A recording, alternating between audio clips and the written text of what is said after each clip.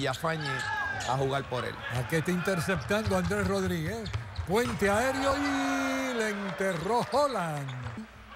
Y no fueron consejos hace un ratito porque insiste en tocarse el área de la nariz y el ojo derecho. Qué bueno es Andrés llevándole la bola a los hombres grandes en el aire. Ya lo hemos visto hacer varios pases de puente aéreo y